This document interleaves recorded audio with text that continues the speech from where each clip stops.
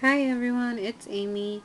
So I decided I wanted to shoot a few divination videos and um, I'm going to start like doing a really quick um, overview on the different forms that I've used and what I've kind of learned on it. If any of you guys are interested in something more in-depth or a particular part of it more in-depth, let me know and I'll try and get one of those um, up and posted. Right now I have the wonderful magical unicorn of my littlest is asleep, the oldest one's watching movies, and I'm actually home from work during daylight hours.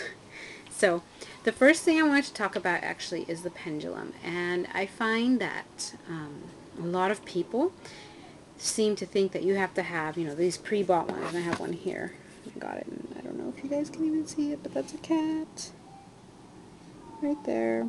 And it's on a chain, and it's a rose quartz pointed crystal. And it even has a little locking one that I can take the thing off and put it back on. And people think you have to buy this. Or something that says pendulum to use a pendulum. Now this is actually my newest newest pendulum. And, well, I mean, even new, this thing is like at least 10 years old. So, the pendulum I first started out with, I actually don't have one of the components anymore. But what I start out with is just a basic chain. Just a regular necklace chain and you know these are like the cheapo ones that you probably can get at Claire's or something. I grabbed one from my stash and then right now I have my wedding ring. And at the time I would wear one my other rings, you know, and I would take it. Doesn't matter if there's a gemstone on it or if it's smooth. You can wear whichever one that you really, really like. And um, with pendulums, one of the very important things is to wear it for a little bit before you try to do a reading so you charge it with your energy. And by a little bit, I mean like a few days, not, okay, I wore it for an hour, let's try it. You're not going to get really good readings. I'd say anywhere from two to three days minimum to more. You know, the more you wear it, the more your energy in it, the more accurate I would say I, I find it to be. So all I would do with um, chain. And that's, oh, the other important thing is, whatever you do when you do a pendulum, you do not want to use a twisted string. So you do not want to use yarn. You do not want to use um, thread. I mean, you can if you want to, but I've always been told, whatever you do, don't use twisted thread because when you use it, it tends to add a twisting motion to you know, your pendulum and, well, the pendulum, you need to interpret the movements and why add some, you know, some static to it. So all I would do is I would take this regular chain, and I would take my ring, and then I would take that small end that clasps in, and I would thread it through, is probably through there. There you go. And there is the pendulum. So if you have a ring with gemstones or something, you want to make sure the gemstones are like pointing downwards. And then you can do your reading. And um, yeah, this is the most basic one. This is the one I've worked with. This is the one my sister works with. She used her engagement ring. I think the most, she's incredibly accurate with this. Um, my husband uses his high school graduation ring and all that. So, I mean, different people, whatever ring really like, you wear a lot, you can use this. Also, if you happen to have just a necklace pendant that you really like, um, I mean, I'm going to be honest, even a cross, you know, a cross would work anything that you wear on your body that you can put on your body, preferably skin contact, but if not in your pocket and constantly wear will work and it works amazingly well.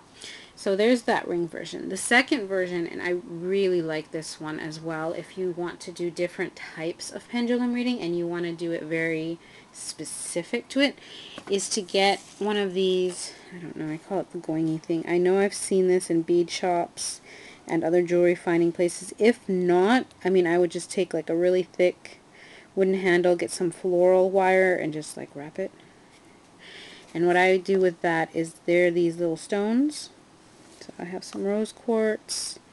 I think that's a bloodstone or a jasper. I know this is whoop, carnelian. And depending on my purpose, depending on what I want with the different stones, and I only want the little chips, I would take this and I would put it in my pocket and I'd wear it for a few days. And then I just pop it right in. And I use another necklace chain because I like my necklace chains. And I just kind of stuck it on the end there. Or you can do the same method I did with the other one. And there you go. This is really good because, you know, you can charge one of these for love, for like, for example, the rose quartz, you know, um, hematite I think is good for fertility questions or fertility issues. So, I mean, different stones, different meanings, you can switch them out. I really, really like this one. So there's that one. And then last but not least are the pre-purchased ones. I haven't had good luck with these. Um, I just find that I, I mean, I can charge them, but I just don't get the same quality reading as I do with my cheapo, but really personalized ones. So there's that. So these are the pendulums. If you guys want me to do a basic how-to on the pendulum or how I do the pendulum, let me know. And I will get on that. So the next, really, really simple. Everybody can get into it. It's very cheap. Also divination one is, hello, pack of cards. Alright, everybody can grab a pack of cards. Everybody has them. You know, sorry these are a bit oil stained when I anointed them. So, just your basic cards. Oops, sorry, basic cards. So on some of these, especially, you, I don't know if you can see, but I would, I made a dot at the top to indicate where the top portion is. So, with these, you can do several readings. This is actually the first divination tool that I ever used. I used a little insert from a women's magazine, and they had like how to read your future, you know, with all these different methods. So, um, in order to read the cards, um, there are some online sources. You can Google them. I can look them up maybe and, you know, attach it to a comment. And um, you can start doing divination. Now with cards, especially with cards, this is with tarot, this is with oracles and everything, the more you shuffle them, the more you touch them, the more you breathe into them, the better and stronger it is. So what I mean breathe into, I mean literally hold the deck like this and breathe your breath through there trying to get it on these cards. Um, at least that's the way my mother taught me, you know, with cards. Breathe into them, constantly shuffle them, touch them. Whatever you do, I was told never ever to put your cards in a metal container or like a plastic one that seals completely. Something about um, just the energy is not good. You want it in a cloth or wooden or you know something that it can like breathe into a cardboard even. So this one for me I found this book. I don't know if I can show you guys. Fortune telling with playing cards by Jonathan Dee And I really like this one because it goes ooh, let's see if I can move the camera. It goes suit suit with a little thing right there. So definitely playing cards. You can look, there's several websites. The more you shuffle, the more you ask questions, the better. Don't um, start with supercharged questions that you're all flipping out about, like, oh my god, you know, if am I this, am I that, is this happening? The more charged you are, the more, especially as a newbie, and even as you get more advanced, the more emotional volatility there is the more mixed up the reading can get. That's why people go to get readings by others for emotionally charged ones because they are kind of separated out from it. So when you first start, just start doing it for fun. Like, hey, what does the day have ahead of me? What does the week have ahead of me? You know? Or how can I get my husband to put his clothes in the hamper? Something super silly and, and fun. So but yeah, this is, if you really wanted to do cheap, it's like less than a dollar for the pack of cards and online sources on how to read the suits together. And, you know, you're off and doing divination. So, the next one that you can make your own, and I really, really, really love it. And it depends if it has to call to you. But at some point, um, the runes started to call to me. Now, I went and looked online for prices for runes. And I wasn't about to spend $20 for a set minimum. I just didn't have the money. I was a poor, like, high school student or I think at that point maybe even, no, I think I was in college at that point. Either way, I didn't have money. Um, so what I did is I went to Michael's and I got pine rounds. Now, these ones are really cheap. This is what they look like. I know this is This is a blank rune, so there's nothing on there. This is all it is. Just a little disc of pine wood.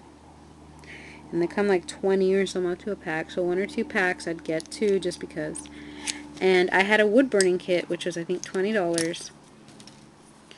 But if you don't even have the money for that, just get, you know, this this little pack and uh, Sharpie. I've seen people use Sharpies on these, and they're really, really pretty.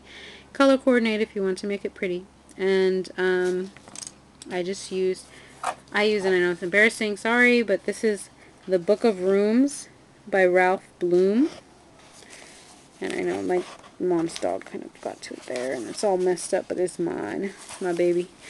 And there you go, you know, copy it off. You can go online and look at the rune symbols. You can go online and get, um, what do you call it? You can get um, definitions, you can get meanings, combinations, but I have this book and it's the one I refer to a lot. Outside of that book, I also got the Practical Guide to the Runes, Their Uses in Divination and Magic by Lisa Peschel, I think. And this one I really like as well. It goes rune by rune. And yeah, just an FYI, the runes, there are different um, languages, if you will, that use rune, different Nordic languages, different Germanic languages, and depending on it, the alphabet of the runes is different. So when you, you might see, you know, one set of runes, and then suddenly somebody has a different amount of runes, it's because of the language that it's in and the differences there. So I would say pick a book or find a website. There's a lot out there on runes and kind of find out what language that is in if it doesn't tell you already and just kind of stick with that. But yeah, these wooden rounds work if you don't even have the money for just plain wooden rounds. There's a lot of recipes online for what's called salt dough. And that is, like, you use a whole bunch, like a cup of salt to a cup of flour. Don't take my word on that, you know, look it up. And then, um, you know, you roll it thin, probably cut it into squares would be easier, or rectangles and bake them and then paint them. You know, acrylic paints, it works too. So you can do that. And then the other thing too is these are, as you are making them, you know, even if you're just using this and a Sharpie, even if you're using salt dough and a Sharpie, these have your intention in it. You put this rune on this piece of wood that before did not have this magical meaning. Um, so your intent, your focus, and everything is in here. This leads to much, much better reading, in my opinion and my experience of that. And, you know, I've been reading for a long time. So, I mean, this is my, like, not interpretation, but my, my thing, my experience. There we go. Oh, remembered a word. Um, so yeah, this is the runes, the pendulum, and the playing cards. These were all things that a high school student or I think I even started reading card cards like oh my god I must have been in seventh grade when I found that little insert and I kept it and I still have it somewhere it's all torn up um, so I mean these are what I started out with before I could afford you know tarot before all that so don't let cost keep you back. Don't think, oh, I can't start doing divination until I get all these things because the truth of the matter is the more you practice, the better you get. The more you do this, the better you get. Um, also, the more you do this, when you have questions that you really want answered that are emotionally intense, you've had enough practice centering yourself, doing a reading, you know, interpreting the results that you can, it's much easier to kind of, you know, take a deep breath, ask the question kind of as calmly and detached as you can, and then read from that versus, you know, just starting going, okay, I'm just going to keep it for the oh my god moments. Um, I'm a big fan of, you know, just try it out. Just do it. Don't don't spend so much money. I mean, if you like the the 20, 30, 40 dollar rune set, get it. Get it if you can. Have fun.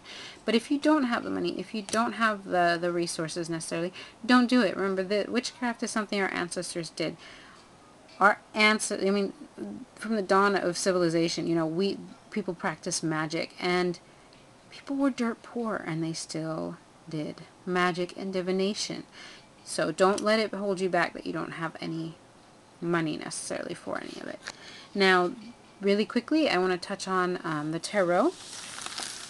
And for that, I'm going to show my deck really briefly. Um, where you? Here you go. Put you right here. This is the Ancient Egyptian Tarot deck. Oh, I, I love this deck. This is the one. This is the one. I haven't gotten another one that actually spoke to me until actually very recently. So we're talking like, oh man, 13 years I've been with this deck. I love this deck. I read this deck. It just speaks to me. Anyways, um, this is a tarot deck. I went into an actual occult shop to touch them. Now this is the one thing. This is the one divination tool that I think is very, very important. You need to see in person in hand. If you can't, there's something called eclectictarot.com and that one has several different card tarot cards and it gives you examples from each. That's the next best thing because what you want to do is find a deck where you're looking at the images where you're looking at the images and they speak to you. They need to speak to you. Like you need to be able, even if you don't know tarot, like there there needs to be a calling, like going, I like this one. I'm drawn to the images. I can kind of, if I had to guesstimate, know what this means. You know, I mean, here's here's one. You know, this. I mean, you can kind of look and go, okay, I can have this feeling about what this could be. You know, this. That's what you want to look for. Um, I'm gonna leave that there.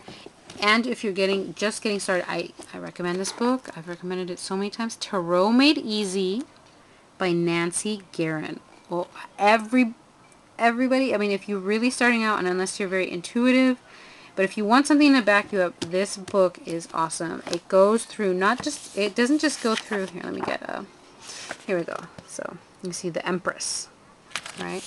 And it goes through the Empress in a reading focus, desire. It breaks it down. So depending on if your question is about home, you go to the home. If your question is about your work, you go to work and career. If your thing question is about physicalness, like physical body, there you go. I mean, this is broken down. And in the beginning, when I was first learning tarot, it was very, very easy to get mixed up. I wasn't sure. I doubted myself a lot. So I took that book and I had it as a backup. So, um, yeah, this is my overview that kind of turned kind of long about all the divination methods I use. I'd be more than happy to go into depth on any of these for you guys. Just let me know. And I'll try to get that up. Hopefully the magical unicorn of everything being nice and quiet and bright light outside and everything will happen. I can do that for you guys soon. Anyways, merry meet. Merry part and merry meet again, you guys. Blessed be.